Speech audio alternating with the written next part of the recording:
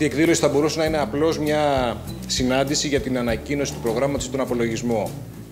Με τη δική σας τη συμβολή είναι μια συνάντηση που εκπέμπει μηνύματα αισιοδοξίας αλλά και προτροπής σε δράση.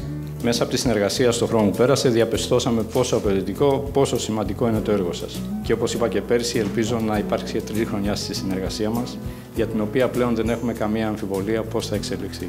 Έχουμε καταφέρει και έχουμε βρεθεί μαζί αρκετοί οργανισμοί, οι τράπεζες, που είμαστε και ανταγωνιστές ε, μεταξύ μας, με ένα κοινό όραμα ένα κοινό σκοπό για δεύτερη συνεχή χρονιά. Μια εποχή που όλοι ξέρουμε ότι είναι αρκετά δύσκολη και για τις τράπεζες.